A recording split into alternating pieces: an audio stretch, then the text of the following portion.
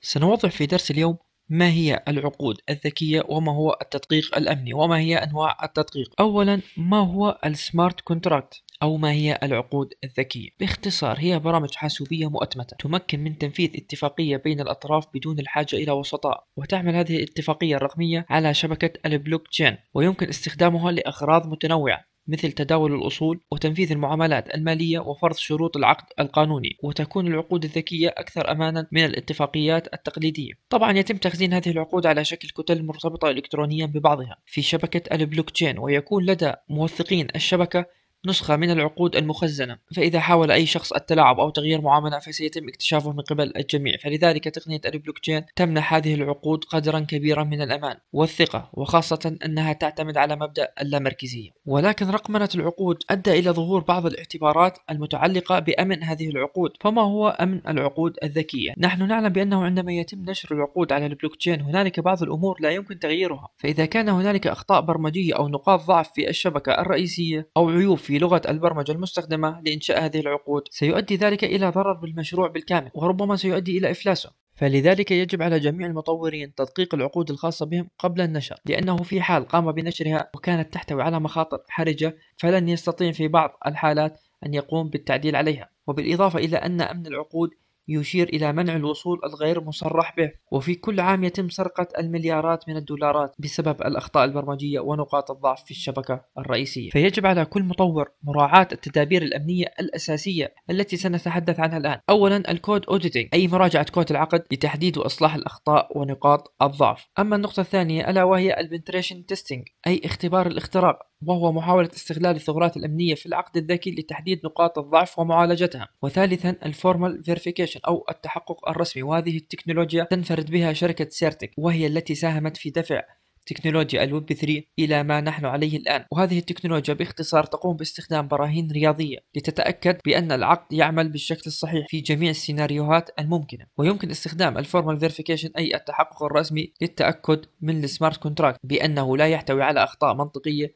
أو ثغرات أمنية. الآن في بعض الحالات يكون ال smart contract عبارة عن مئات الأسطر. فعندما يتفاعل قسم مع قسم آخر في حالات أو سيناريوهات معينة يؤدي إلى ظهور ثغرة برمجية أو عيب معين. فهذا الأمر لا يمكن اكتشافه من قبل الإنسان. فتم اختراع تكنولوجيا ال formal verification وتم برهنتها رياضيا ونسبة الدقة في هذه التكنولوجيا هي 100% أما عن النقطة الرابعة ألا وهي multi signature wallet فهنا نعني بها التواقيع المتعددة حيث بأن هذه المحافظ تتطلب أكثر من شخص واحد للموافقة على المعاملة أو لترقية العقد مثلا حيث يوفر هذا الأمر طبقة إضافية من الحماية. هذه هي أهم التدابير الأمنية التي يجب على كل مطور مراعاتها. وهنالك أمور أخرى يجب أن نقوم بالتنويه إليها فيما يتعلق بأمن العقود. أول نقطة تعني اتبع مبدأ الامتياز الأقل وينص مبدأ الامتياز الأقل على أن العقد الذكي يجب أن يتمتع فقط بالأذونات اللازمة لتنفيذ الوظائف المقصودة منه. وهذا يعني أن العقد لا ينبغي أن يتمتع بإمكانية الوصول إلى أي بيانات أو وظائف وظائف غير ضرورية يمكن استغلالها من قبل المهاجمين. من خلال اتباع هذا المبدأ يمكن للمطورين الحد من الضرر المحتمل الذي يمكن أن يحدث نتيجة لخرق أمني.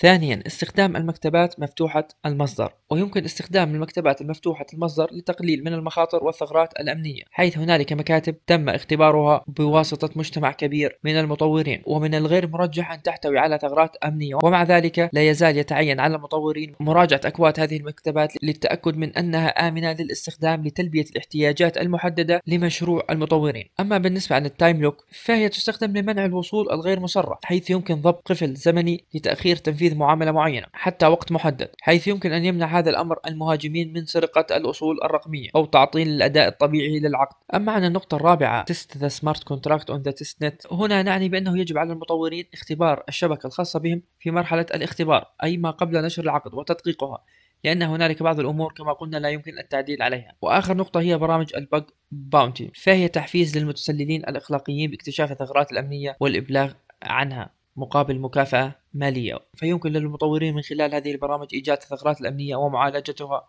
قبل وصول المهاجمين. هكذا انتهينا من أهم التدابير الأمنية التي يجب على جميع المطورين والمستثمرين أيضا الاطلاع عليها والتأكد بأن الفريق المطور الخاص بهم قام باتباع جميع هذه الأمور. ويجب دائما أن تتأكد بأن المشروع الخاص بك خاضع لبرامج ال bug bounty وقام بعمليات التدقيق ولا يوجد تحكم مركزي أو امتيازات خطيرة قد تضر في أداء ال smart contract. أما بالنسبة عن أنواع التدقيق فهنالك ثلاثة أنواع من التدقيق. فهنالك تدقيق يتم بشكل يدوي وهنالك أوتوماتيكي وهنالك ال formal verification ونسبة الدقة في ال formal verification هي 100 بالمئة وتم برهنة هذا الأمر رياضيا. أما عن ال automatic verification فنسبة الدقة 95% وبالنسبة للتدقيق اليدوي فهو 90% وتستخدم شركة سيرتك جميع هذه الأنواع حيث تركز شركة سيرتك على ال formal verification مزامنة مع التدقيق اليدوي والأوتوماتيكي حيث يتميز ال formal verification ليس فقط بأنه يقوم بإيجاد الأخطاء المنطقية أو الأخطاء البرمجية بل يستطيع أن يتحقق بأن هذا الكود البرمجي يقوم بتنفيذ الأمر المطلوب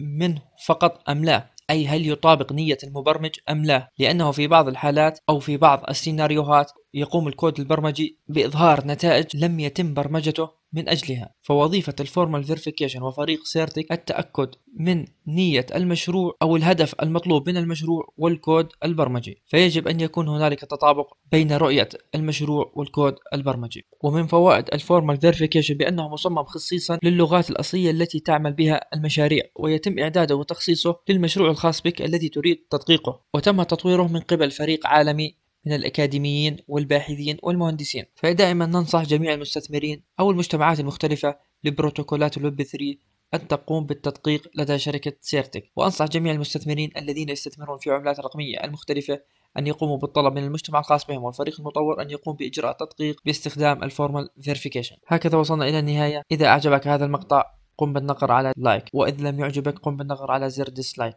وإلى اللقاء.